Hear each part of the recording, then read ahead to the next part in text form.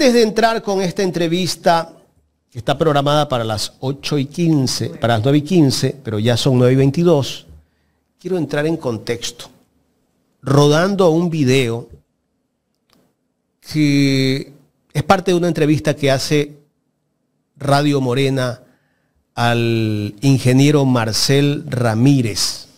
Él es un ecuatoriano, Marcel Ramírez, que vive en el estado de la Florida, vive en la ciudad de Miami. Él es experto en temas digitales, por no, decirle hacker, porque Lucho Almeida le dice en la entrevista que es un hacker, que tampoco es un insulto.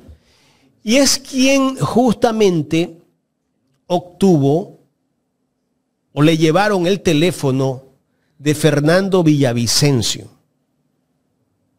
para que los ayude a desbloquearles el teléfono. El señor Zurita, ahí lo menciona el señor Zurita, también habla de la esposa de Fernando Villavicencio. Y todo lo que más o menos puede haber dentro de ese teléfono.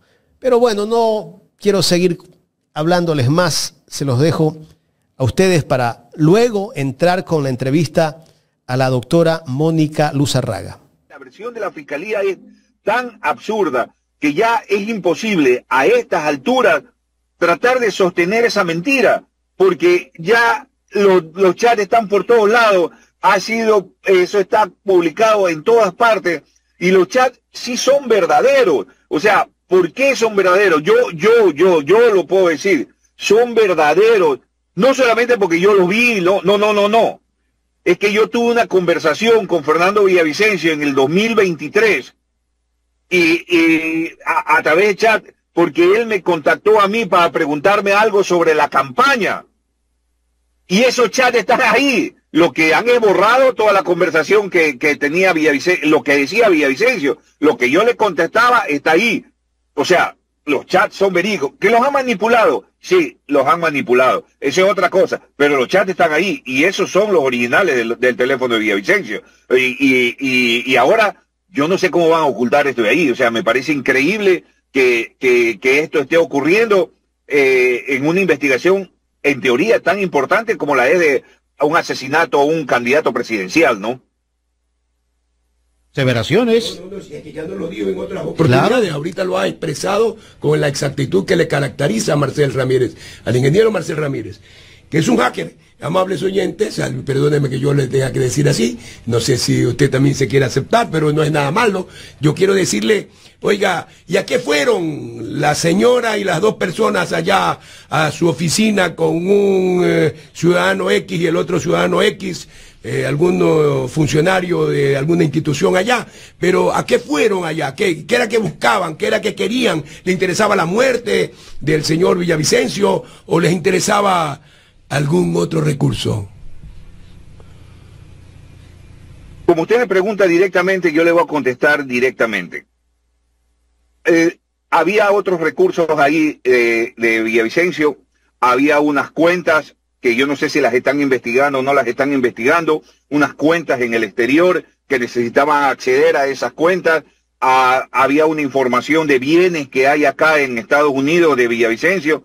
Este, tal es el caso que conozco yo de tres casas que hay aquí en, la Florida eh, que, de él, que están en disputa entre una hermana y unas hijas. No tengo muy claro el tema, realmente eh, no lo tengo muy claro, pero sé que hay una disputa ahí por, por, esa, por, eso, por esos bienes que están aquí en la Florida. Conozco de una casa que está muy cerca de Tampa, que, que, está eh, en una disputa legal.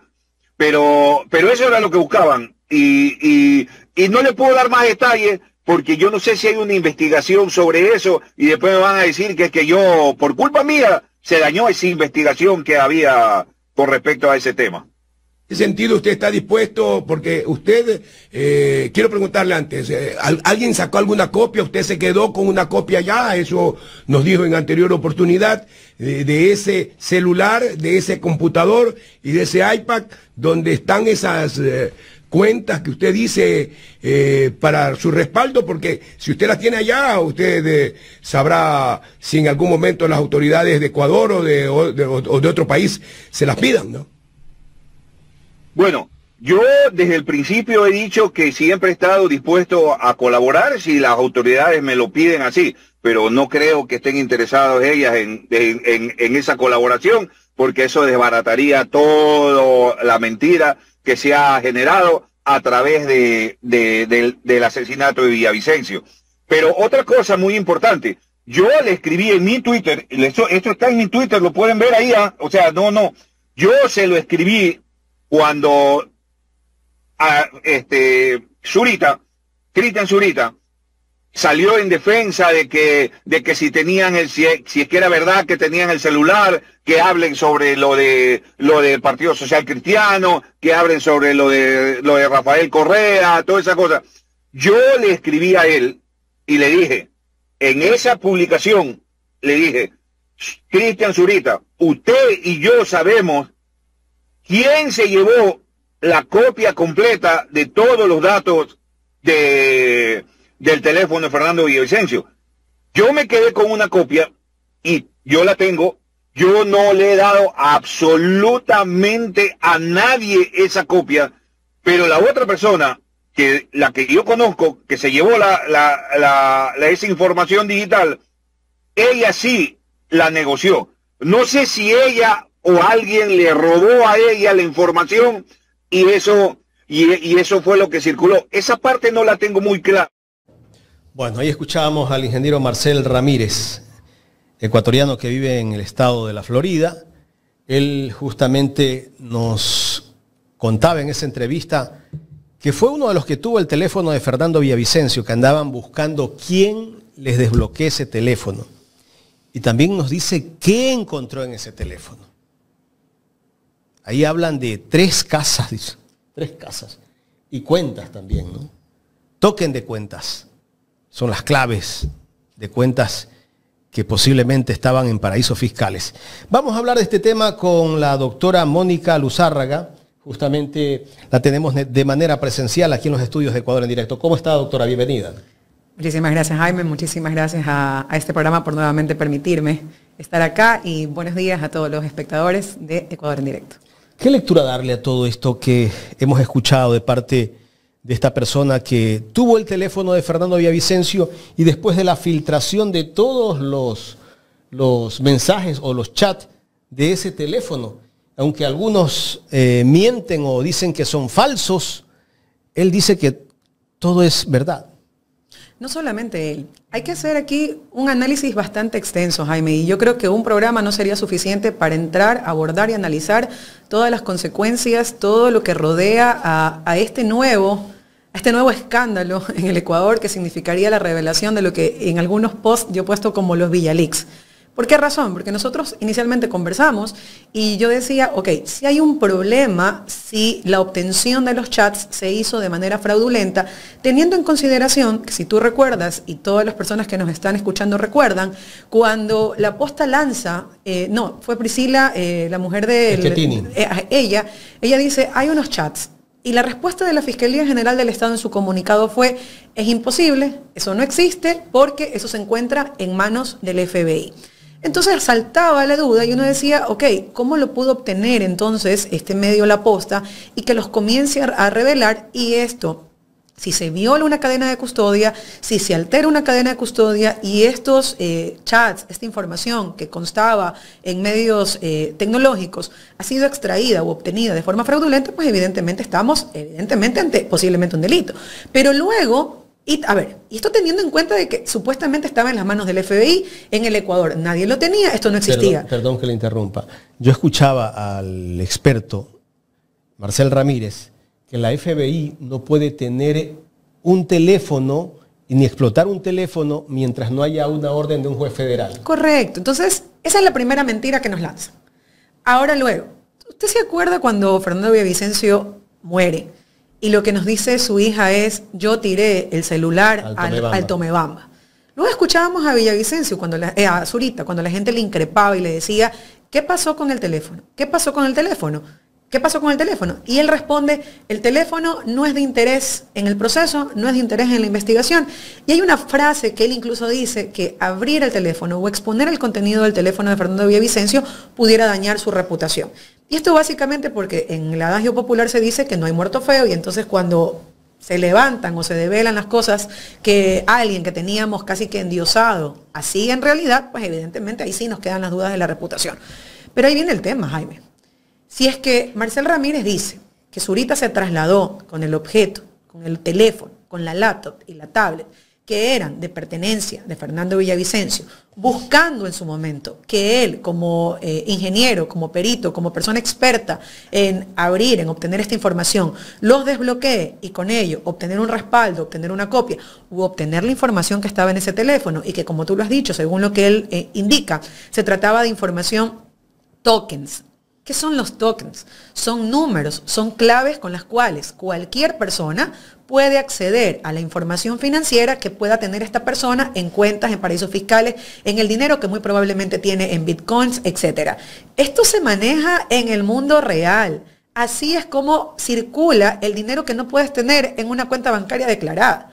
Entonces, ¿cuál era la intención real de Cristian Zurita? Primero, de indicar que el teléfono estaba en manos del FBI, que él no lo tenía, que nadie lo tenía, luego de su propia hija, indicando que el teléfono lo había lanzado al río y que a nadie le interesaba, y luego de la Fiscalía General del Estado, emitiendo un comunicado falaz, indicando que nadie puede tener acceso al teléfono porque el teléfono reposa en las manos del FBI y que no reposa en la Fiscalía.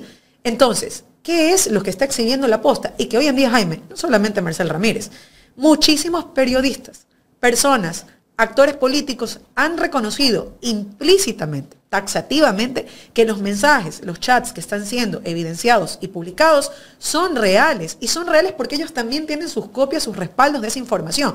Los únicos que salen a decir que los chats fueron manipulados, que los chats no existen, son aquellas personas que están apareciendo ahí como actores, muy probablemente, y como autores de una serie de infracciones. Y luego viene la otra parte, Jaime, que me parece absolutamente eh, desastrosa con respecto a la actuación de la Fiscalía. Ayer un jurista bastante reconocido en el país, decía, bueno, no dijeron nada cuando se expusieron los chats de eh, Leandro Norero y no les importó eh, la memoria de Leandro Norero, no les importó la intimidad de, Leandro Norero y la de mucha gente, porque incluso cuando se publicaron esos chats, no sé si tú recuerdas, no solamente se publicó la información que tenía relación con los actos delictivos de Leandro Norero y muchas personas, sino también situaciones que nada tenían que ver con hechos delictivos, pero ahí la gente aplaudía y festejaba. Pero claro, esa información se publicó, señoras y señores, una vez que se dio eh, apertura a una instrucción fiscal y en la instrucción fiscal, pues evidentemente podemos hacer pública la información. Pero a ver, Fernando Villavicencio no murió hace un mes, no murió hace dos meses, ya murió hace más de un año.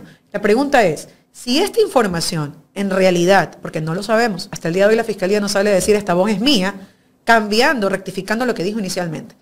Si esa información de alguna manera ha estado en poder de la Fiscalía, con la serie, con la cantidad de información sobre tráfico de influencias, eh, acosos, persecución a personas, eh, muy probablemente incluso interferencia en procesos electorales.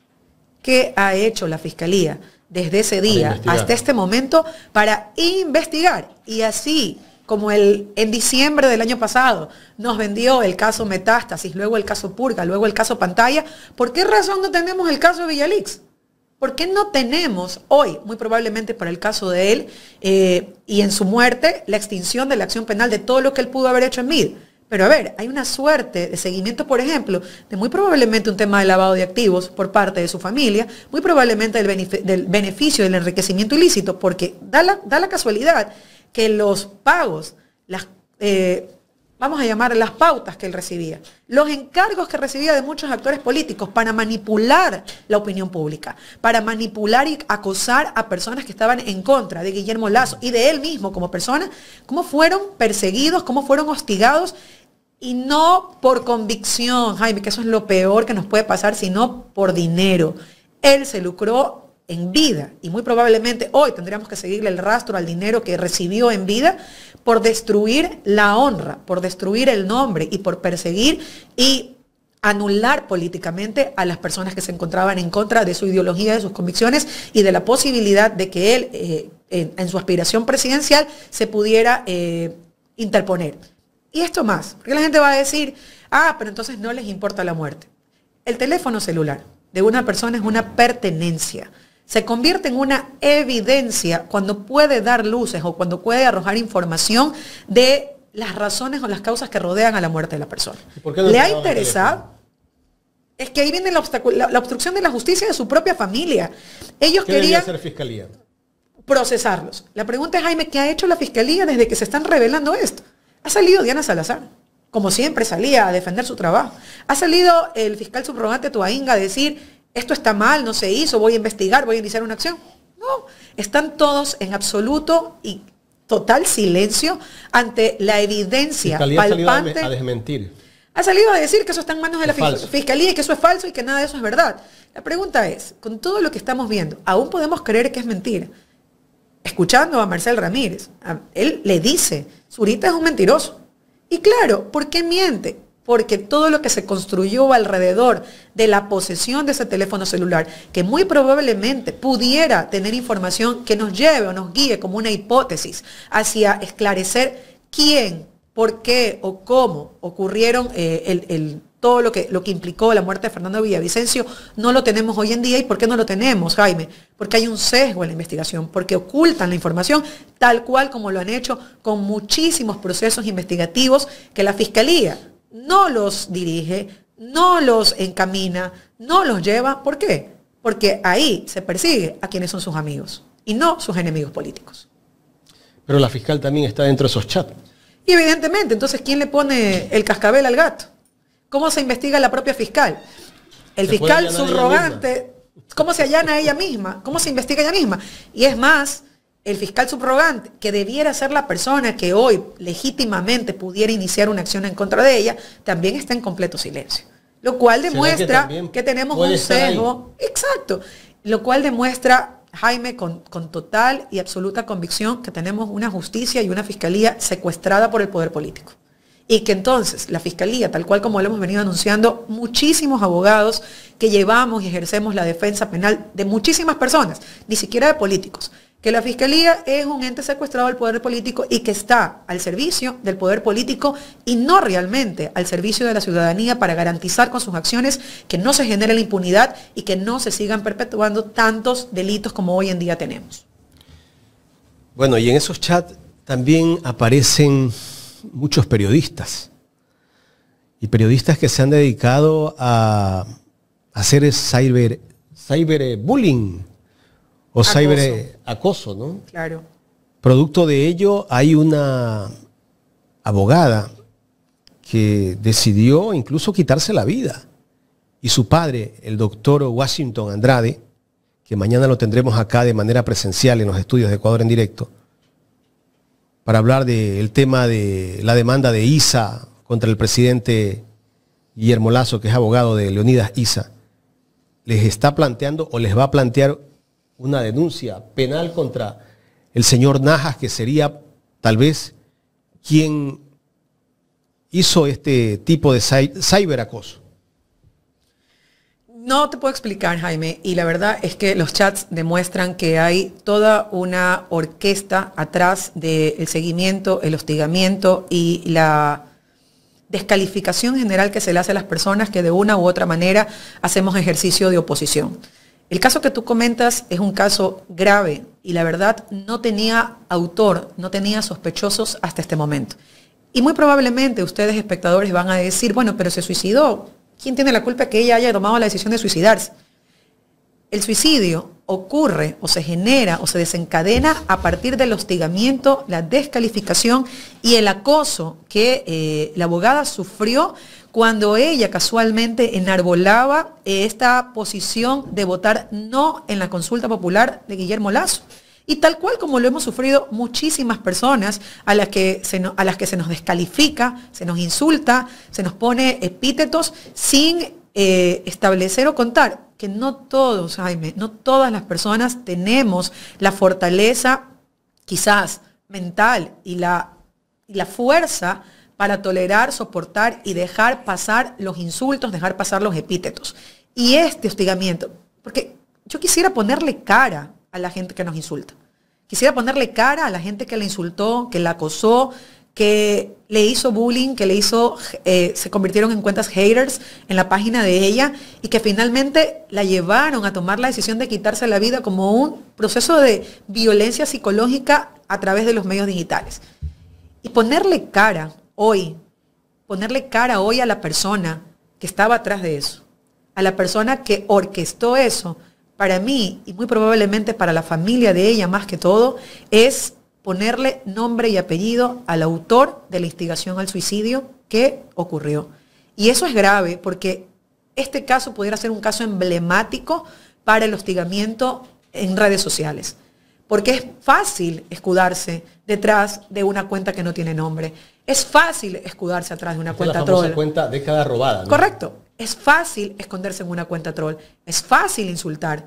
Pero qué pena que el insulto o que la objeción no sea porque seamos contrarios y porque seamos, eh, probablemente estemos en dos esquinas distintas del pensamiento, sino que sea por dinero. Yo te contrato, yo pago, yo pauto, yo invierto dinero para destruir, para aniquilar a una persona porque piensa diferente. Elaborar videos porno. Elaborar videos porno. O sea, y claro, porque ahí viene muchas personas, Jaime, y creo que tú, muchas personas, hombres que lo hacen, reciben descalificativos, te llaman narcoperiodista, delincuente, terrorista, todo. Pero a las mujeres ya no es solamente eso. ¿Qué nos dicen? Mujerzuelas, prostitutas, eres tal cosa, eres tal cosa, eres de un tal GDO muchas mujeres que estamos atrás y que somos profesionales tenemos familia, tenemos hijos, tenemos hijas. Y la pregunta es, ¿debemos recibir ese tipo de ataques simplemente por pensar diferente? Por intentar hacer una oposición constructiva, de hacerle ver a la ciudadanía lo que está bien, lo que está mal, lo que, lo, que creemos que es incorrecto y sobre todo, Jaime, en, nuestra posición y de la de muchas abogadas, es hacer visibilizar la violación a la Constitución y a la ley. No perseguimos nada más que eso. No perseguimos nada más que demostrarle a la ciudadanía que sus derechos están siendo violentados. ¿Y qué recibimos en respuesta? Lo mismo eh, que, ha pasado hasta ahora y que gracias a Dios a través de estos chats se evidencia y se le pone nombre y apellido a aquellos que están atrás de esto. También aparece el nombre de la presidenta de la Asamblea que fue o que recibió también acoso este, cyberacoso, ¿no? Viviana Veloz, le, elaboraron videos pornos. Correcto. Y qué fácil, qué fácil es hoy en día con la inteligencia artificial. Y yo lo dije en, una, en, una, en uno de mis posts anteriores. Inteligencia artificial tiene que ser utilizada para cosas positivas. No tiene que ser utilizada para cosas negativas. Pero es tan, tan, tan macabro este tema de las ansias de poder, esta oposición visceral, esta oposición que nace del odio, que no nace de la construcción de un país democrático, que eres capaz de cualquier cosa por aniquilar y por destruir la imagen, el nombre y la reputación de una persona. Lo cual nos lleva a dudar siquiera de que cuál es la información confiable que tenemos en los medios de comunicación o que tenemos en las redes sociales. Si es tan fácil, tan fácil crear contenido tergiversado, contenido manipulado para para sí mismo, tergiversar la opinión pública y hacernos creer cosas que no son verdad. Correcto. Bueno, en este momento, ¿qué debería hacer eh, la justicia de nuestro país con, este caso, con este caso que, que, se ha develado? Mira, hay un paradigma ahí y las personas espero que lo conozcan y si no lo saben, pues yo se los voy a explicar en este momento tan didáctico como siempre. En este país, para iniciar una investigación, para iniciar un proceso penal, si se quiere, dependemos única y exclusivamente de la Fiscalía. El artículo 195 de la Constitución de la República nos dice, el titular del ejercicio de la acción penal pública, el titular del poder punitivo del Estado es la Fiscalía. Si la Fiscalía guarda silencio, no dice nada, no le interesa investigar, como lo estamos viendo hasta este momento, ¿qué toca hacer? Nada, es que no tenemos, no tenemos poder de acción. ¿Sabes qué tenemos que esperar, Jaime? Que venga un nuevo fiscal. Que llegue un nuevo o una nueva fiscal y que sea ella o él quien inicie las investigaciones, quien inicie los procesos penales, porque dicho sea de paso, gracias al movimiento Construye en la Asamblea Nacional, eh, bueno, no, gracias a la doctora Samira, perdón, gracias a la doctora Samira en, la, en el juicio político, Diana Salazar quedó fuera de cualquier tipo. Estamos hablando de la doctora Samira. Todo el mundo sabe quién es la doctora Samira, menos la doctora Samira. Pero acá en Guayaquil Samira es una vidente, me parece. La doctora ¿Tú recuerdas lo de la doctora Samira? La justificación de Umajinga diciendo que quien le estaba escribiendo mientras se llevaba a cabo el proceso en la mesa de fiscalización era la doctora Samira, su asesora. Se chateaba con no, se chateaba con su asesora, la doctora Samira. Por favor, hay que tener dos dedos de frente para saber quién se encontraba atrás de la manipulación y para evitar efectivamente que la ciudadanía conozca no solamente las actuaciones de ella como fiscal general, sino todo lo que ha desencadenado su pésima dirección dentro de la fiscalía. Y que Jaime, yo como abogada y como amiga de muchos fiscales que han fallecido, te digo, la fiscalía ha sido una, una de las instituciones que ha sido más delegitimada, por más de que las personas crean que está haciendo todo, no la misma, eh, las vidas que se, han, que, se ha llevado la Fiscalía en este momento con tantos fiscales asesinados dan cuenta de una pésima administración y de un pésimo estado de control, incluso de los procesos penales que se han llevado, que se han ido investigando dentro de este organismo. Claro. ¿Y qué me dice usted de, de los medios de comunicación que están haciendo un mutis de todo lo que está ocurriendo con el caso de estos chats que no sacan información? Que evitan, tratan de, blindar a, las autoridades y a quienes están eh, siendo mencionados en esos chats. Dime a quién sirves y te diré quién eres. en otra ocasión, en, otro espacio, yo le decía a Fabricio Vela, comunicador, periodista, no conocido en el Ecuador, le decía que yo creía que el periodismo, al igual que la abogacía, era una función social y que el periodismo, la investigación, el periodismo en general, tiene que darle a la ciudadanía la información objetiva, la información veraz. Y cuando tú haces periodismo de opinión, pues sí, haz periodismo de opinión, pero ponle el rótulo, que es tu opinión. En el resto tienes que entregar la información transparente para que la ciudadanía la conozca, la sepa, la mastique y sean ellos quienes tomen su decisión personal con respecto a la información que se les da. Sin embargo, nosotros sabemos que hoy en día una de las grandes asignaciones que por parte del gobierno nacional se da es el tema comunicacional, es el tema de la pauta, es el tema de comprar la conciencia y comprar el relato de muchísimos periodistas de muchos medios tradicionales. Con lo cual es evidente que si yo estoy recibiendo eh, mes a mes mi cheque, mi cheque que sale de las arcas del Estado, muy probablemente yo no voy a poder hacer o entregar la información a la ciudadanía que muy probablemente exacerbe el tema de sus criterios y le dé el conocimiento democrático de elegir y de saber qué es lo que está pasando en la realidad nacional. Eso se llama vender tu conciencia. Entonces, si yo tengo un cheque todos los meses me llega y si digo algo que va a perjudicar mi bolsillo, ¿Lo voy a poner en riesgo? No lo voy a poner en riesgo. Entonces la ciudadanía tiene que venir a medios quizás no tradicionales, pero que puedan darle la información veraz, que puedan darle la información objetiva y que sean ellos, como yo siempre digo, que sean ellos quienes tomen la decisión de cómo manejan esta información. Pero evidentemente estamos en un secuestro no solamente de la comunicación, sino también de las instituciones públicas. Estamos ante un secuestro de las funciones del Estado que evitan a toda costa que la ciudadanía en realidad pueda acceder a la información de manera transparente. ¿Por qué los medios vendían a Fernando Villavicencio como un gran personaje de la política y que podría este, hacer algo por el Ecuador? Pero viendo todos esos chats, hemos visto que toda esa actividad que hacía Fernando Villavicencio era una actividad ilícita. Primero habría que preguntarse si todas las personas sabían o conocían cuáles eran las actividades, a qué se dedicaba, cómo se, cómo se financiaba o cómo generaba el contenido Fernando Villavicencio. Luego también habría que ser un poquito más eh, objetivo, porque muchas personas sí recibimos alarmas y sobre todo en, en, sus relatos, en sus intervenciones dentro de la Fiscalía, nos dábamos cuenta que lanzaba una información y después, callaba. y después se callaba. Entonces, eso es lo que tiene que hacer, ya no como periodista, no como investigador. Trabaja en la fiscalía. Ya trabajaba como presidente de la comisión de fiscalización. ¿Podías hacer eso? No, no podías hacerlo. ¿Qué estaba detrás? Pero Jaime, es que hay un poder político, y hay personas que han tenido y han manejado no solamente el poder tras el poder, sino también el poder, eh, el poder económico. Hay personas que, que tienen temas con la función judicial. Entonces, si todas estas personas de alguna manera sustentaban, financiaban, pautaban o buscaban a través de la voz legítima ante el pueblo, porque Fernando Villavicencio para la ciudadanía era una voz legítima.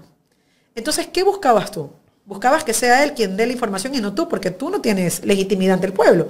Pero si buscabas a alguien que sí lo haga, entonces la gente quedaba perfecto, ¿no?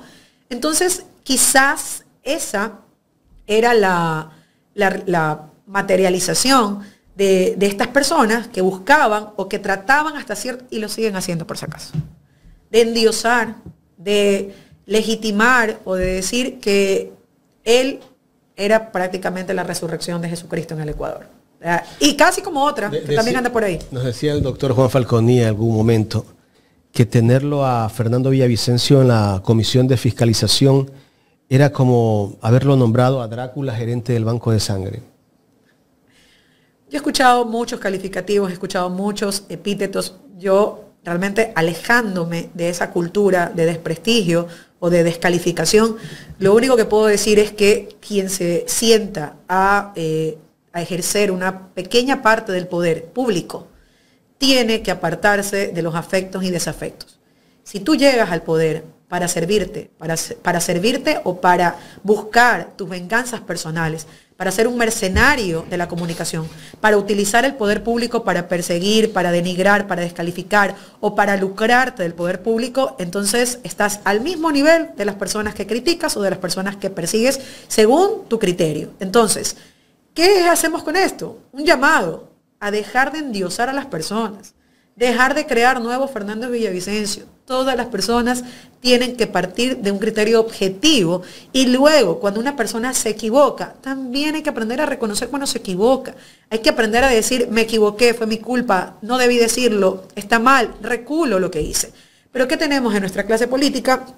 Que regularmente se construyen estas imágenes, se construyen estos dioses y que somos capaces de poner las manos en el fuego por esa persona sin saber o sin contar lo que hay detrás. Entonces hay que partir de la duda de todo para poder realmente construir y valorar los actos de las personas por lo que hacen y no por lo que parecen. Para decirle a la audiencia, gracias a todos los que están conectados. Cada que trato este tema de Fernando Villavicencio, siento que hay un sabotaje de seguramente gente que trabaja para toda esta este grupo de personas que aparecen dentro de los chats. Seguramente hay, hay muchos intereses aquí. Tengo que advertir esto. Están intentando sabotearnos la señal. Bajamos, subimos, bajamos, subimos en audiencia. Estábamos por cerca de 3.000 personas conectadas. De repente baja a 1.300, a 1.200. Pero vamos a seguir. Vamos a seguir para los que están intentando sabotear este trabajo que hacemos y que no quieren que se hable de este tema. No quieren que se hable, se hable del tema Fernando Villavicencio. Claro, seguramente hay muchos intereses dentro de todo, ¿no? Hay personas que no quieren que se comente o sean mencionadas sobre los que están dentro de ese teléfono de Villavicencio. Algunos ven monstruos, como decía ayer el doctor Juan Falconi, el caso de Zurita, cuando hablaban del teléfono de Villavicencio. Veía monstruos. Es por eso que intentan sabotear el trabajo que hacemos aquí en Ecuador en directo. Doctora, ya para ir cerrando este tema porque tenemos que pasar a, a otros, ¿qué se debe esperar de parte de de fiscalía. E, estos chats, estos chats que aparecen dentro del, celular de Fernando Villavicencio, si se pueden, si sirven para un proceso. Si todavía permanecen, es que ahí volvemos al tema. ¿Cuáles son los chats que se están publicando? Los que se llevó Zurita como copia, vaya Dios a saber para qué, como forma lo dice Marcel Ramírez, o son los que estaban en la fiscalía y se alteró la cadena de custodia.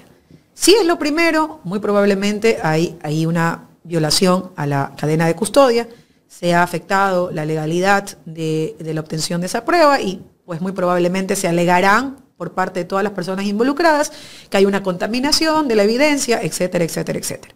Pero si no es eso, señoras y señores, si lo que está publicando la posta fue obtenido por otros medios, porque como lo dice Marcel, se hizo un respaldo, se obtuvieron unas copias y eso no es la información que está en cadena de custodia, entonces muy probablemente lo que deberíamos esperar como ciudadanos es que la Fiscalía dé la cara, informe a la, ciudadanía objetivamente y de forma imparcial qué ha hecho con la investigación de toda la información que está en ese celular.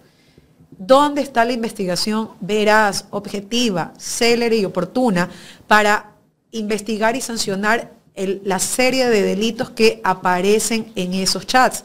Y tal cual, como se lo hizo en su momento con el celular de, de Leandro Norero, darle a la ciudadanía la oportunidad de visibilizar aquellas actuaciones que son contrarias al ordenamiento jurídico. Eso necesitamos, necesitamos una fiscalía transparente, una fiscalía que deje de hacer logos y se ponga a trabajar. Eso es lo que necesitamos. Estamos dialogando con la doctora Mónica Luzárraga. Ella es jurista y también es analista política. Doctora, ¿por qué hay un silencio de parte de la fiscal? No, no la escuchamos, no se pronuncia.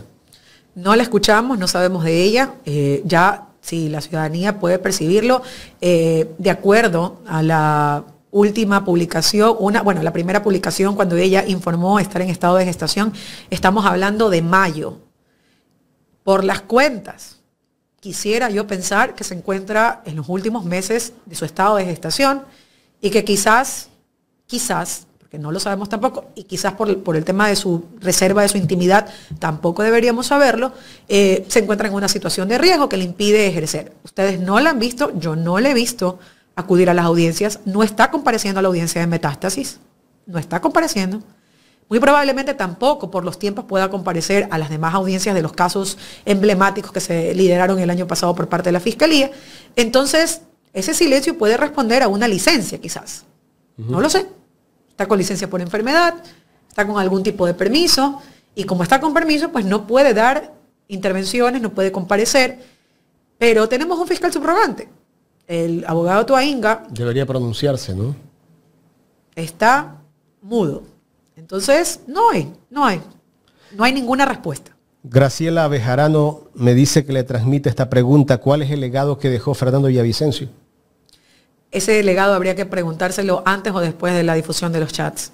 Si era antes de la difusión de los chats, muy probablemente la gente enarbolaba a Fernando Villavicencio como el líder de la clase política distinta, de la clase política buena, de, ese, ese lema que dicen, no, nosotros somos la gente de bien. Ese era el legado, en teoría, de, de Fernando Villavicencio. Hoy en día, muy probablemente ese legado se ha destruido, conforme lo dijo y lo anticipó Cristian Zurit. Cristian Zurit dijo, si se revela, por sí lo dijo, si se revela la, información que consta en el teléfono de Fernando, se va a destruir su reputación. Eso es lo que tenemos hoy en día. Más preocupado por la Más preocupado por la reputación. A ver, Jaime. Si en, y si en ese teléfono había información de cuentas bancarias, yo te diría que ni tan preocupado por la reputación, sino más preocupado de investigar dónde estaba el dinero. Claro. Algunos andaban muy preocupados por eso, ¿no? Claro. Dicen que habían dos cuentas con una cantidad importante, 33 melones. Es bastante. Habría que ver si es que en algún momento nos hablan de ese tema, ¿no?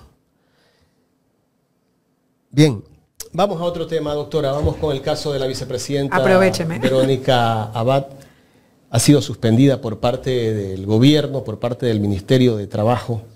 ¿Qué lectura darle a todo lo que está ocurriendo? Ayer la Asamblea se pronunció y condenó esta decisión de parte de la ministra de Trabajo, Ivonne Núñez. ¿Cómo leer esto? Todo lo que está alrededor del proceso de suspensión de María Verónica Abad como embajadora, no como vicepresidenta, es inconstitucional. Desde ahí, inconstitucional, ilegal, indebido, rompe, rompe absolutamente el tema de la seguridad jurídica en nuestro país. Es algo que no ha pasado, que no ha ocurrido, que no se le había ocurrido a nadie. Hay que destacar que el gobierno nacional es bastante creativo cuando tiene que perseguir a las personas, pero en su, en su creatividad lo que va haciendo es atropellando la constitución y atropellando la ley. Mira tú que eh, varias personas, sin que sean afines al gobierno, algunos detractores del gobierno, algunos afines al correísmo, otros detractores del correísmo, todos, absolutamente. Nunca he visto abogados ponerse de acuerdo en algo. Ahora todo el mundo coincide efectivamente en que lo realizado por el Ministerio de Trabajo, por la abogada Ivonne Núñez, es inconstitucional, es violatorio de derechos y deja, marca un precedente nefasto para la seguridad jurídica de nuestro país, para el trabajo que día a día hacemos quienes de alguna u otra manera ejercemos la defensa en el derecho administrativo, ejercemos la defensa en materia laboral. Y en general, porque si tú le permites a las personas de mayor rango violar la constitución, violar la ley, pasarse por encima normas básicas del derecho, ¿qué puede esperar el ciudadano común en sus actuaciones, en sus procesos judiciales, si todos desde arriba están irrespetando la constitución, están irrespetando la ley? Yo quiero ser muy enfática en algo, Jaime, porque lo he dicho y lo he puesto bastante en mis redes sociales. El proceso de suspensión, hay dos, hay dos partes, ¿no? El proceso de suspensión que inicia el Ministerio de Trabajo a raíz de la fabricación de un acuerdo ministerial que no existía al tiempo en el cual, en teoría, se computa el famoso abandono injustificado por más de tres días. El Ministerio de Trabajo, Jaime, crea un, un acuerdo ministerial que regule un procedimiento especial para incluir en los procesos de sumarios administrativos a las dignidades de elección popular. ¿Sabes cuándo lo crea? El 11 de septiembre. ¿Sabes cuándo se computa eventualmente el abandono injustificado que alerta Sommerfeld con respecto a Verónica Abad? El 9 de septiembre. Es decir, que el procedimiento es posterior a la presunta realización de la falta, que no es falta tampoco. ¿Y por qué no es falta? Porque mira que en el, en el acuerdo, en el sumario que se le hace a María Verónica Abad, se establecen ¿Por qué razón ella, habiéndosele ordenado que vaya el 2 hasta el 5 de septiembre, ella llega el 9? Cuando la ley de servicio exterior dice que cualquier embajador, cualquier persona del servicio diplomático que reciba una orden de traslado, tú estás, por ejemplo, asignado como embajador o como cónsul en Colombia y te cambian a otro lugar. ¿Sabes cuánto tiempo dice la ley orgánica de servicio exterior que tienes para cambiarte? 30 días. ¿Sabes cuántos días le dieron a Verónica para cambiarse? Tres días. Tres días. O sea, lo hicieron a propósito. Tres días, Jaime. Explícame cómo un, y yo no voy a hablar de presidente, explícame cómo un embajador cualquiera, cualquier persona del servicio exterior puede cambiar su vida, su vivienda, sus cosas, si estaban sus hijos estudiando. Es que literal es como tratarla como una mercancía, como un objeto que podía coger. Y no, y espérate, porque el tema es, se la saca porque ella pidió, porque dice que está en riesgo. Entonces, como está en riesgo, que se cambie en tres días. Una persona que estaba viviendo una guerra que le pasaba por encima y no te importaba que estaba con sus hijos, no te importaba absolutamente nada, no tenía eh, respaldo, no tenía resguardo, y le dices, ya, ¿te quieres cambiar? Cámbiate, en tres días te doy. Jaime, nadie se cambia en tres días de casa. ¿Te das cuenta el nivel de perversidad que rodea al acto y que todo, tal cual, porque esto es lo más importante y ojalá los abogados que defienden a Verónica Abad lo digan. Es que era crónica de una muerte anunciada. ¿Tú te acuerdas cuántas veces salieron los ministros en los medios de comunicación a decir, esperen, ya vamos a ver qué vamos a hacer, todo a su tiempo, ella no se va a posesionar? Es decir, todo fue construido para llegar al momento de buscar un funcionario administrativo de menor rango, servil, que cumpla las órdenes del rey. Oiga, y los periodistas decían, algunos que están cercanos al gobierno y que son rocolas, decían que había que buscar, buscarle la forma para sacarla. Correcto que cuando no tienes cabida en el derecho, cuando no tienes respuestas en el derecho, entonces buscas la vía que no es del derecho. Buscas la vía del abuso, buscas la vía de la arbitrariedad, buscas la vía de la violación. Y claro, como te crees omnipotente, como crees que este país es una hacienda, entonces dices, yo me paso por encima de la constitución, yo me paso por encima de la ley Siempre habrán, siempre habrán funcionarios serviles capaces de bajar la cabeza y violar la constitución, violar la ley, y yo no he hecho nada. Esa es la mirada, esa es la respuesta que le debe dar el ciudadano. Luego viene esta situación también distópica. El Ecuador tiene dos vicepresidentas hoy en día. cuando aún no ha causado estado el proceso de suspensión, que además todos los, todos los servidores administrativos, todos los servidores públicos saben, la suspensión sin sueldo, Jaime, en el reglamento de la ley de servicio público, si es que se lo quiso utilizar, que no debió jamás utilizarse, es máximo 30 días, Jaime. ¿Y sabes por qué es máximo 30 días? Porque las personas viven de su sueldo. Sus familias dependen del sueldo de un servidor público. Que no es el caso de Verónica Abad, por si acaso, porque para mí ni siquiera tuvo que haberse aplicado el procedimiento de sumario administrativo. Pero se la sanciona con una eh, pena, por decirlo así, de 150 días. Cinco meses. Cinco meses sin sueldo. ¿En qué parte? ¿En qué ordenamiento jurídico? ¿En qué norma? ¿En qué ley se establece una sanción de esa naturaleza? Es que viola los principios de legalidad, viola el principio de taxatividad, viola el principio de proporcionalidad. Y lo que es más, espectadores, es tan macabro y tan perverso que si ustedes computan el tiempo, es casualmente todo el tiempo de la campaña electoral. Entonces, si no te quieres dar cuenta, esto es como de amiga, date cuenta. Si no te quieres dar cuenta que esto es un plan macabro, es un plan perverso, es una persecución política, es violencia política de género con todo, con todo el nombre y con todo el apellido, entonces no estamos reconociendo que le estamos abriendo la puerta a la dictadura y, y al autoritarismo. Bueno, la defensa de la vicepresidenta Verónica Abad ha presentado una acción de protección. ¿Qué debería hacer la justicia? Pausa, que aquí tengo la primicia. Presentan la acción de protección. Ya la presentaron en, anterior momento y la jueza les negó, indicando que la sola existencia o la sola posibilidad de apertura de un sumario administrativo no causa perjuicio. Entonces, ahora que ya se materializó, presenta una acción de protección. Vamos a ver Tú sabes qué le dice la jueza que le recayó en sorteo la causa a María Verónica Abad, a los abogados de la defensa de Verónica Abad, que justifique la calidad de vicepresidenta. ¿Tú puedes creer eso? No es un hecho público y notorio, ciudadanos ecuatorianos, que María Verónica Abad, al igual que Daniel Novoa, fue, fue elegida vicepresidenta del Ecuador. ¿Cómo así un juez, una jueza, que es jueza, te dice que acompañes la, acompañes la prueba que acredita la calidad de vicepresidenta. Yo fui jueza, Jaime.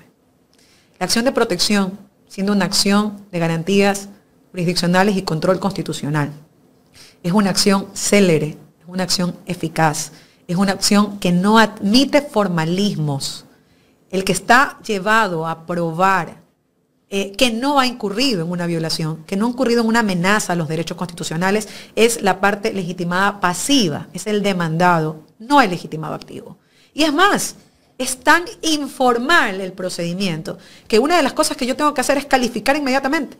Y si hay solicitud de medidas cautelares y causan o, tengo eh, la, la, previsión de que sí puede estarse violentando, que pudiera causar un perjuicio, ordenarlas de manera inmediata. Y luego al llevarse a cabo la audiencia, porque se celebra una audiencia pública, el juez, cuando tiene dudas, él mismo puede ordenar pruebas. Entonces, perdóname, yo en el, programa anterior que hablábamos, te decía, no puede ser posible que tengamos jueces que, y respetando la independencia judicial, sean obsecuentes con el poder, con el gobierno de turno. Eso no puede permitirse. Entonces, a mí sí me da bastante mala, mala, una premonición mala, que, todo esto esté encaminado precisamente a seguir invisibilizando, a seguir violando los derechos de María Verónica Abad, vicepresidenta constitucional del Ecuador. La jueza creo que es una jueza. Es jueza. Donde recayó esa acción de protección. Correcto. ¿Qué debería hacer? Calificar calificar inmediatamente, porque eso es lo que, lo que la Ley Orgánica de Garantías Jurisdiccionales y Control Constitucional te dice. Calificar y el, fallo, ¿qué tiempo? Bueno, ahí tenemos un procedimiento que no se cumple nunca, pero que debería eh, realizarse en el menor tiempo posible. Lastimosamente, como te digo, sí, muy probablemente. Pero ¿está pasando? No está pasando.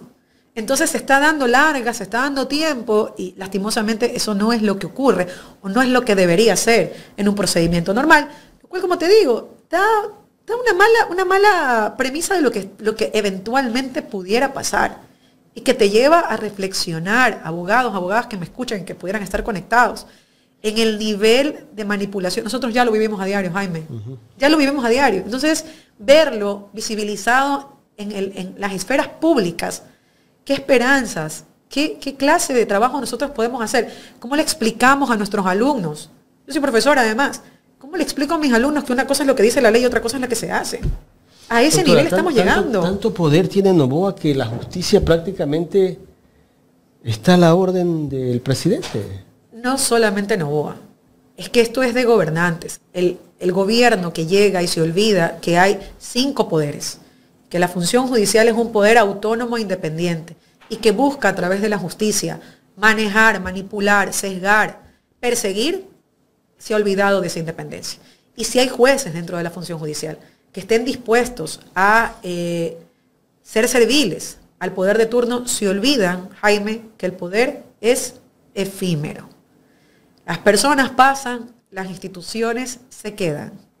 Y cuando yo soy servil a alguien y me voy en contra del derecho, me voy en contra de la constitución, me voy en contra de la ley, después no estemos llorando, no estemos reclamando cuando se ejerzan las acciones de repetición, cuando se, ejerzan las demandas internacionales, porque si hay algo que tenemos que ser conscientes, y ojalá, Jaime, algún día existe una persona con los pantalones bien puestos, sea hombre o mujer, que le haga pagar a cada una de las personas que irrespetan el orden constitucional, que irrespetan la constitución y que irrespetan la ley. Eso no lo tenemos. El Estado paga, paga indemnizaciones millonarias por la violación de la ley, por la violación de la Constitución que cometen los servidores públicos, que cometen los mandatarios. ¿Por qué nosotros como ciudadanos tenemos que sufrir esas consecuencias? ¿Por qué no empieza una cultura de respeto a la Constitución y a la ley, una cultura de la verdad, una cultura de la transparencia?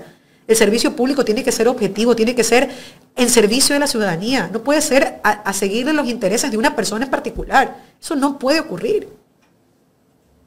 Correcto. La verdad que estamos asombrados con todo lo que está pasando. Yo no me imaginé que iba a llegar a tanto todo esto, ¿no? Lo veíamos venir y no hicimos nada. Y, lo que llama la atención es que la ministra de Trabajo es abogada. Abogada y ex jueza provincial de trabajo. De trabajo. ¿Ella sabe que están vulnerando o, o está rogándose funciones? Lo sabe, como lo saben todos los profesionales que están al servicio del gobierno todos, absolutamente todos saben y es, y es bastante deleznable que profesionales que tuvieron una reputación, que tenían un nombre ganado desde la academia y desde el ejercicio profesional, se presten hoy en día para seguir siendo serviles a este poder autoritario, a este poder desmedido, a este poder ambicioso y sin control que estamos viviendo hoy en día.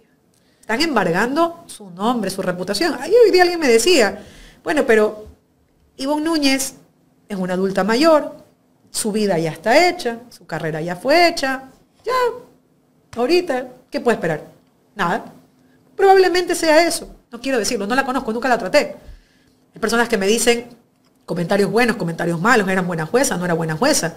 Aquí lo preocupante es que salga a legitimar algo que es contrario al derecho, porque es que no se trata de ser ministra, se trata de situaciones básicas que aprendimos en la universidad. usted si estaba en ese puesto y le pedían que yo, sea de esa manera?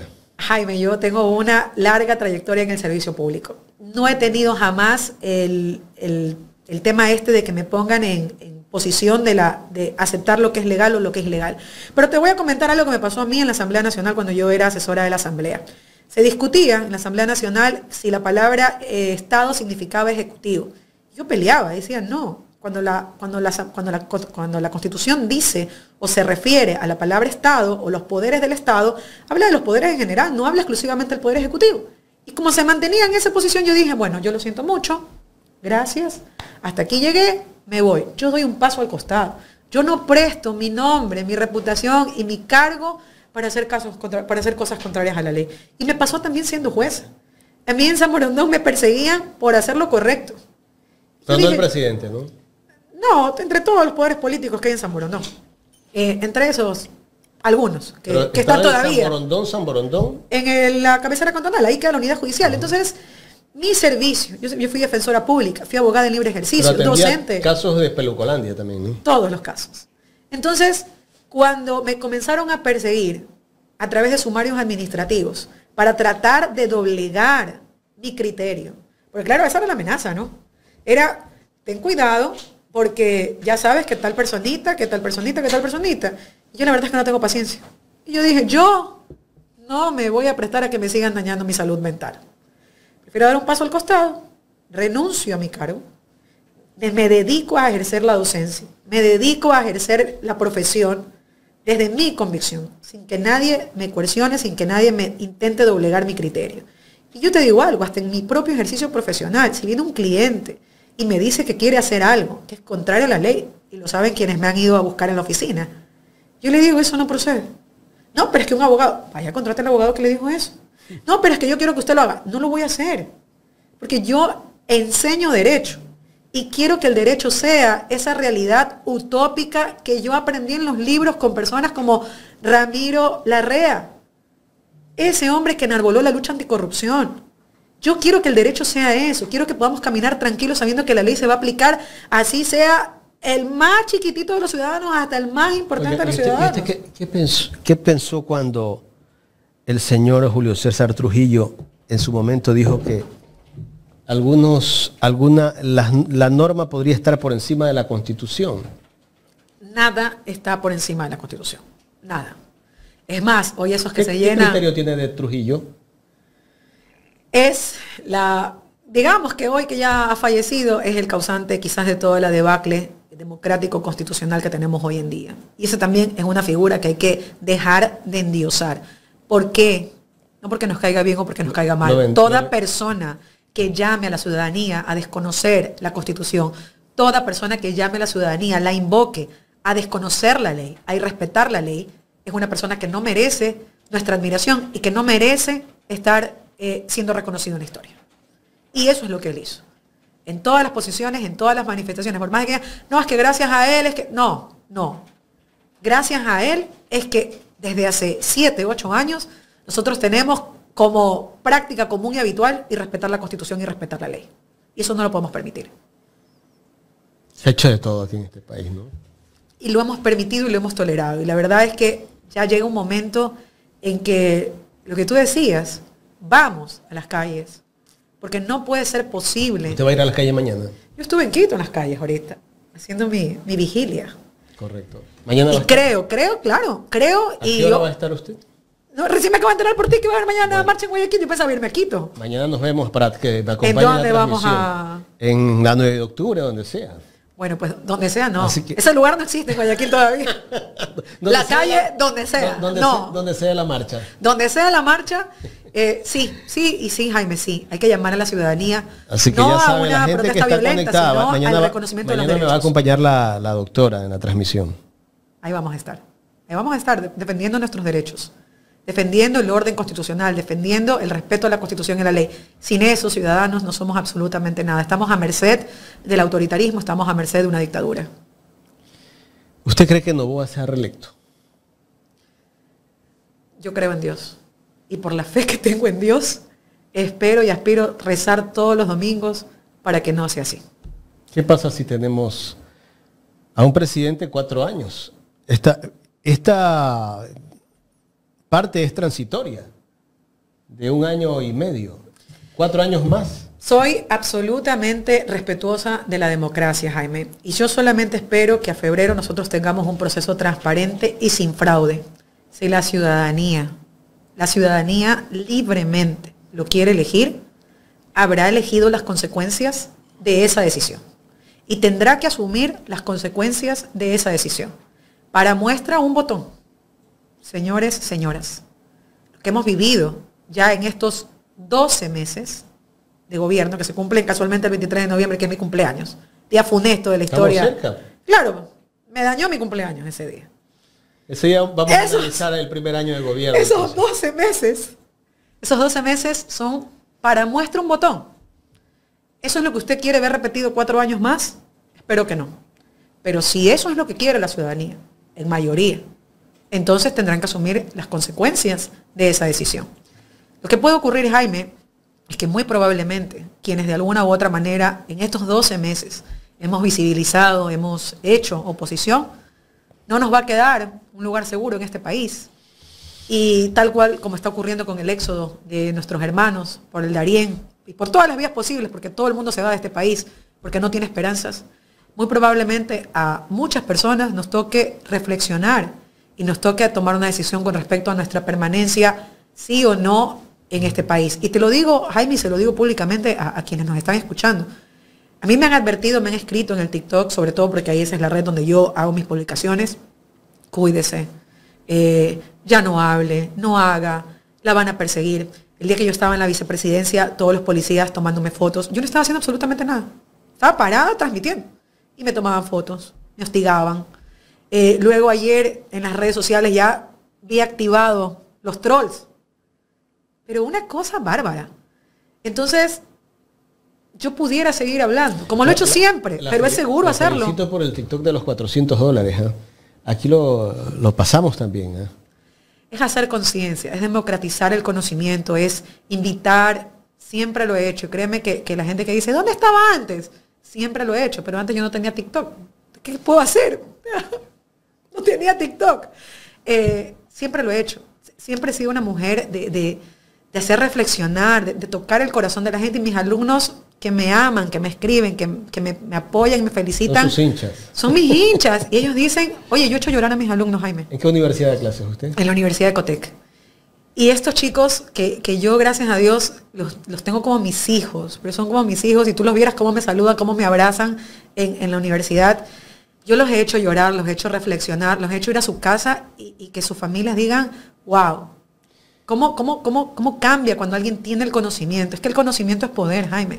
Si nosotros no tenemos conocimiento, no somos nada. Y lastimosamente en este país el conocimiento es de unos pocos. El conocimiento está vedado, el conocimiento está prohibido. ¿Por qué? Porque el que no tiene conocimiento es manipulado. Y eso es lo que necesita un gobierno autoritario, gente que pueda manipular. Pero hay gente profesional también que es manipulada. Y claro, porque tienen intereses. Porque tú lo dijiste hace un momento. ¿Cuánto cuesta tu conciencia?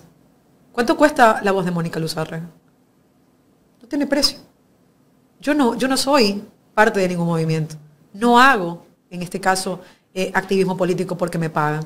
Hago activismo político porque estoy cansada y porque creo firmemente que la política sí interfiere en la vida diaria de las personas, sí interfiere en cómo yo trabajo, sí interfiere en mi profesión.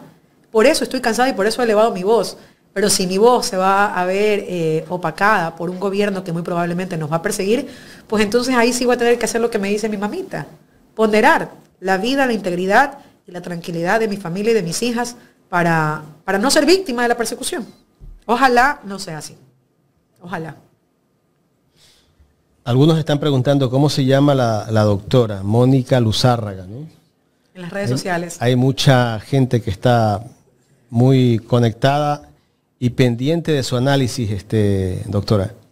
Mónica Luzárraga, así. Así la encuentran en TikTok. Sí, Mónica Luzárraga, en todas mis redes sociales, en todas. En Instagram, en, TikTok, en X, en todas las redes y en todas hago comentarios. Entonces, eh, tengo los seguidores, ya tengo muchísimos seguidores, creo yo.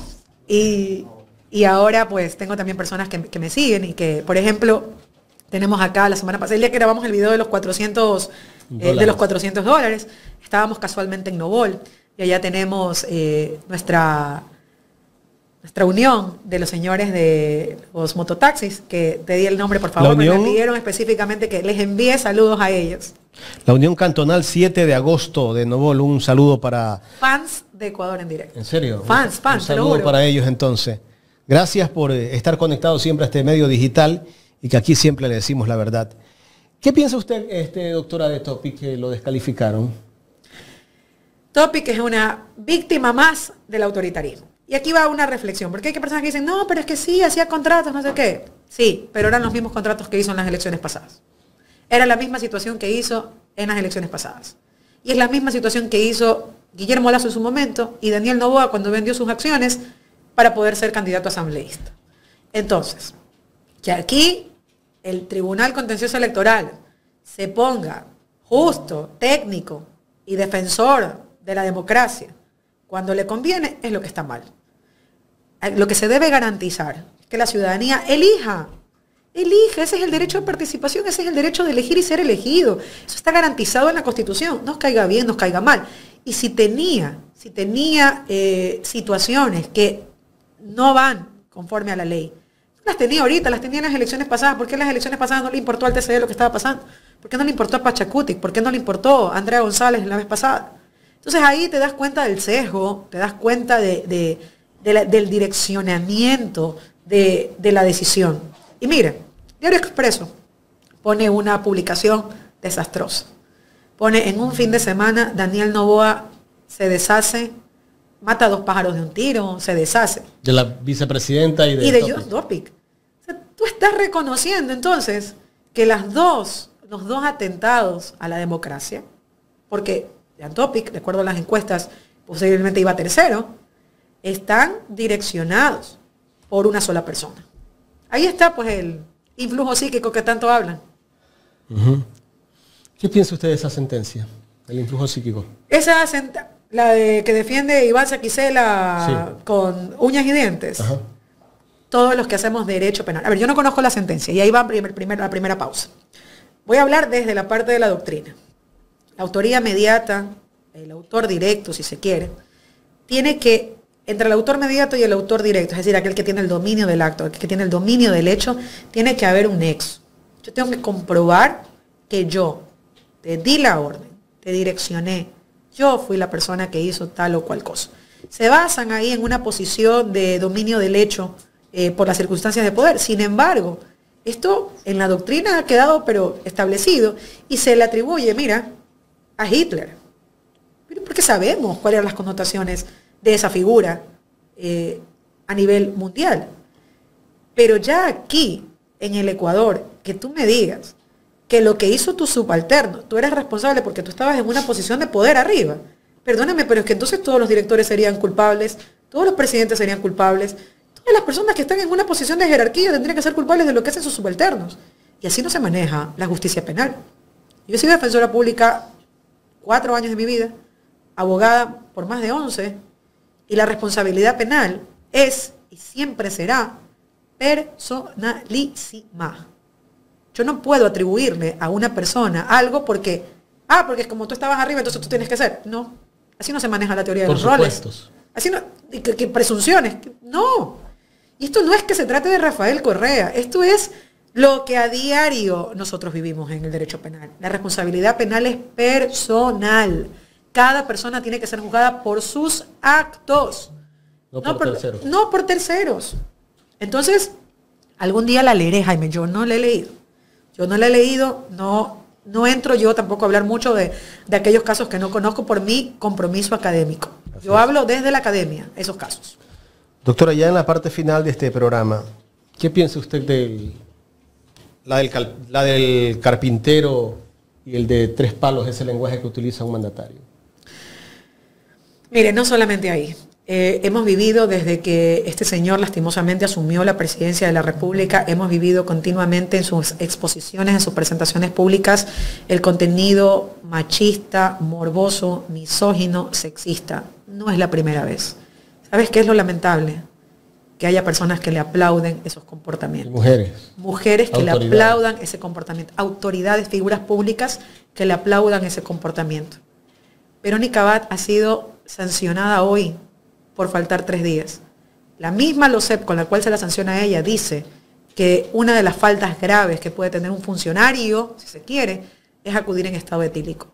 Tú me vas a decir que Daniel Novoa no ha cometido esas faltas, que no ha estado públicamente ebrio y que es cuando está ebrio, en aparentemente, que le fluye la lengua. Ese día que no habla, ahí no necesito teleprompter. Se lo notaba un poco para decir, para decir vascosidades para, insultar, para denigrar, para ofender. Porque te voy a decir algo. Exhibir o hablar de la vida íntima de tu pareja, porque esa es la vida íntima de tu pareja. Tú sabrás qué haces en la intimidad, qué haces, qué dejas de hacer, cómo lo haces. Eso es tu intimidad, la tuya y la de tu pareja. Qué lástima, qué lástima que un servidor público, el mandatario de un país, el representante que elegimos para gobernar este país, se sirva del espacio de poder donde tiene que hablar de la, que hablar de la ciudadanía de obras, tiene que hablar de la ciudadanía de soluciones, tiene que hablarle a la ciudadanía de políticas de Estado, de políticas públicas, se sirva a subirse una tarima para cantar, tambalearse y hablar de su vida íntima. No nos interesa la vida íntima de Daniel Novoa. No nos interesa la vida íntima de su esposa. Nos interesa lo que haga por el país, lo que pueda hacer el país. Y que no sean estas prácticas que comúnmente utiliza para exacerbar el populismo y la demagogia con las cuales intente ocultar su ineficiencia, su mediocridad y su, incompetencia como primer mandatario. Estaba mareado ese día. Muy probablemente, es que yo no entiendo cómo alguien se sube a tambelarse de esa manera así, y no es la primera vez, es que no es la primera vez. Entonces, ya estamos cansados. Bueno, y quizás haya gente que sí le aplaude, y me parece lamentable, porque eso es misoginia pura, eso es sexismo puro y es lo que utiliza en sus TikToks, es lo que utiliza en sus comentarios, es lo que utiliza en sus redes sociales. Es que alimenta, alimenta ese morbo absurdo que nos hace desviar de lo verdaderamente importante. Aplaudir como focas esos comportamientos, cuando lo que le deberíamos exigir es que se siente, se pare ahí a hablarnos de políticas públicas, que se pare a hablarnos de soluciones, de cómo va a afrontar el tema de la electricidad, cómo va a afrontar el tema del desempleo, cómo va a afrontar el tema de la falta de seguridad. Eso es lo que queremos escuchar. No si, si se da dos, tres, cuatro, cinco, seis palos. Eso no nos interesa. Eso no nos interesa a la ciudadanía. ¿Qué piensa usted de lo que publicó la esposa, Lavinia Balbonesi, que dice que son objetos de ataque de parte de mucha gente y que ellos están arriesgando todo y que están haciendo mucho por el país? No sé si usted vio ese video. Sí lo vi. Lo vi y entiendo que la preocupación de ella es por la serie de comentarios que recibe. Sin embargo, hay que hacer aquí algo que también tiene que conocerlo la ciudadanía. El cargo de primera dama no existe. Ella no es servidora pública, ella no es funcionaria pública, ella no ha sido elegida por absolutamente nadie dentro de este país. Su rol, el que está ejerciendo como directora nacional de ADN, luego el rol como cónyuge de Daniel Novoa, y luego su rol como influencer, TikToker, eh, etcétera, todos, todos, absolutamente todos implican una visibilidad. ¿Ok? Se la, ¿Cuáles son los ataques? Mira, ella dice los memes que hacen eh, de nosotros, las burlas. Pero a ver, tu propio marido sale, tu propio marido sale a decir que tiene vigor de carpintero y que pega tres palos, perdóname, pero tu propio marido te está exponiendo a eso, a, comentarios, a memes, a chistes, a burlas. Primero anda reclámale a tu marido que no exhiba tu vida íntima. Y luego, y luego la exposición que tienes. Yo lo que sí no comparto y jamás lo voy a hacer es que ella tenga esta doble cara, ¿no? Porque por un lado dice, yo no soy servidora, yo no tengo nada que ver, pero por otro lado hace toda la exposición del gobierno. Y ahí anda con ministerios, con funcionarios, se mete a escuelas cuando está prohibido. Entonces, o eres o no eres. Porque si eres, entonces hay escrutinio público. Desde el respeto, obviamente, Jaime. Y luego, si como influencer, porque ahí está la otra cara de la línea Balbones, si como influencer tú has expuesto tu vida pública, todo tu vida pública, tus hijos, los hijos de ellos salen a cada rato en las redes sociales. Los estás exponiendo. Eres tú quien te está poniendo en la posición de que te ataquen, así como a Mónica Luzárraga. Yo pudiera estar en mi cuarto tranquilo, en mi trabajo, en mi oficina y nadie tuviera que saber ni cómo me llamo, ni a qué me dedico, ni si tengo hijos, si tengo marido. No, porque mi vida, mi vida es reservada. Pero el momento que yo salgo a las redes sociales y le pongo una cara a mi nombre, y ahí verás en mis redes sociales que me insultan, me quieren, me aman, me adoran, otros me detestan, pero soy yo la que me estoy poniendo en esa posición. Entonces, y yo siempre invito a la gente a que si discrepan con mi contenido, pero nos manejemos el respeto. Pero a ver, no exijas lo que tú misma no estás dando y lo que tu propio entorno, tu propia intimidad está eh, provocando. Él en su comportamiento de cónyuge, de marido, la está exponiendo a esas situaciones y, me parece lamentable. Entonces, ahí también hay que ver un tema de responsabilidad de él, de, cómo la exhibe. O sea, es que no, puedo explicarlo. Me parece, eh, me parece, y, ahí justo una, abogada que es experta en género decía, eh, lo único que podemos saber es que eres, víctima de violencia, tú también. Así es. Tú eres víctima de violencia. Como la ex esposa. Como la ex, como su ex cónyuge, correcto. La matanza en la penitenciaría del litoral, ¿qué lectura darle a, lo que pasó esta semana? Y que, bueno, el gobierno tiene una campaña que dice que tiene el control de todas las cárceles del Ecuador y que, bueno, se terminó toda la violencia dentro de las cárceles. Hay 15 personas que fueron masacradas dentro de la penitenciaría litoral y posiblemente ese, ese número puede aumentar porque hay algunos heridos que están muy graves. No hay ningún tipo de control. Y la violencia que se sigue perpetuando dentro de los centros carcelarios es responsabilidad exclusiva del Estado. Ningún Estado militarizado, ningún Estado policializado ha reducido la violencia. Esto tiene que conocerlo la ciudadanía.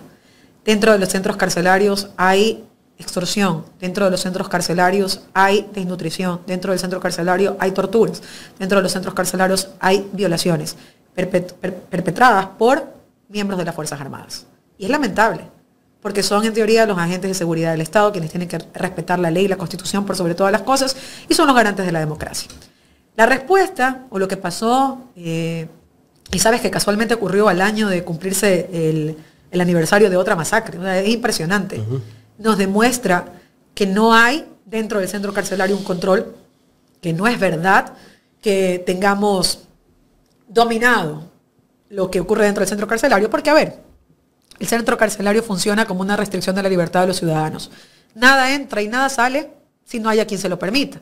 Entonces, si tú me dices a mí que tienes Fuerzas Armadas dentro del centro carcelario, tienes ahí todos los días y lamentable porque esa no es la función de las Fuerzas Armadas.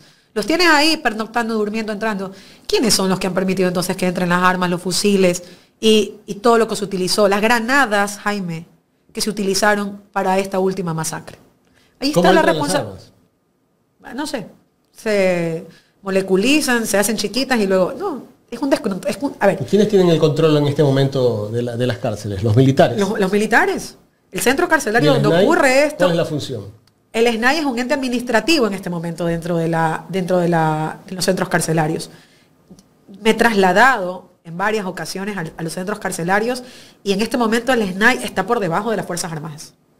Son jerárquicamente inferiores a las Fuerzas Armadas. Entonces, tú me vas a decir que te mataron a 15 personas, masacraron a 15 personas y tú no tienes responsabilidad como Fuerzas Armadas. ¿Tienes responsabilidad como gobierno? Sí, lo tiene. Y precisamente por eso es que los privados de libertad son un grupo de atención prioritaria, porque están bajo el control del Estado ecuatoriano. Ellos no se pueden mover de ahí.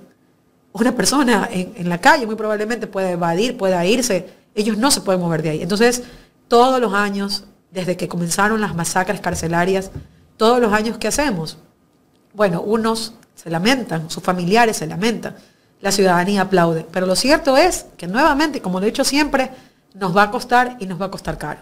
Porque la vida de esas personas, independientemente si sentenciadas o no, son responsabilidad del Estado y el Estado tiene que garantizarles la rehabilitación. Tiene que garantizarles vivir en, una, en un hotel, tiene que garantizarles que tengan acceso al teléfono, no, tiene que garantizarles su rehabilitación. Y lo que estamos viendo es que lo único que les puede garantizar el Estado es tortura, desnutrición y ahora muerte. Y oscuridad. Y oscuridad. Bueno, a todos afuera oscuridad. y ya estamos como ellos ya prácticamente. Encerrados. Ya no salimos. Ya no tenemos libertad. Y cuando no hay toque de queda, la gente, hay toque de queda. Sí, ya estamos como, como, encarcelados, estamos, Jaime. Esa es la realidad del Ecuador hoy en día. Ese es el gobierno que tenemos, que no soluciona los problemas, aunque se presenta como que ha solucionado muchos problemas. Ayer o antes de ayer que presentaba al nuevo ministro de gobierno, al señor eh, José de la Gasca, ahí le entregó una lista de todo lo que ha hecho y lo que hay que seguir impulsando ahora como nuevo ministro de gobierno. Bueno, tantas cosas que solamente quedan en palabras, porque en realidad lo que hace el gobierno es casi nada, no soluciona. hay mucho trabajo que hacer. Claro que hay mucho trabajo que hacer, que no has hecho absolutamente nada. Por eso hay mucho trabajo que hacer. Terrible. Doctora, quiero agradecerle por haber venido de manera presencial. Entiendo que incluso anda con mala noche. Sí, Jaime me hizo venir presencialmente ahí, esquivando todos los baches todos los baches de la vía eh, Riobamba, Riobamba, Payatanga, Bucay. Que, Por esa vía se vino desde la capital. Sí, porque mi conductor, habiéndole advertido que esa no era la vía, me trajo por esa vía. Y me hizo vivir todo el desastre de los, De los baches. Y, mira, Jaime, no es la, y esta no es la primera vez. Yo hace como un mes también pasé por esa vía y me lamentaba profundamente Decía, ¿cómo es posible que siendo este el corredor más rápido para la Sierra Central, para trasladar, esté en el estado que está y que en ocho años nadie, Jaime, haya podido hacer algo por reparar esa vía? No les interesa la vida de los ciudadanos. Yo, me imagino las personas que todos los días tienen que transitar por esa carretera, sus, sus llantas se dañan, los tiempos son más largos, si tienen que trasladar productos, todo se encarece más. Claro. ¿Por qué razón? Los productos que vienen de la sierra, ¿no? Y que todos los días viajan. Mira, ¿por qué razón no te sientas a gobernar? ¿Por qué te sientas a perseguir? Tienes que sentarte a trabajar por tu, por tu patria, por tus ciudadanos, por tu país. Y recuperar eso que nosotros decíamos, wow, qué, qué, qué bien que estamos. Lo que tenemos. Hoy no tenemos nada, hoy ni siquiera podemos transitar con seguridad por las carreteras del país. Y es lamentable, es lamentable que, que tengamos que seguir tolerando y aceptando las miserias que nos deja el gobierno central hoy en día. Gracias, doctora. A usted, siempre y a todos los espectadores de Ecuador en directo. La doctora Mónica Luzárraga, Luzárraga, conversando con nosotros en esta mañana aquí en los especialistas de Ecuador en directo. Gracias.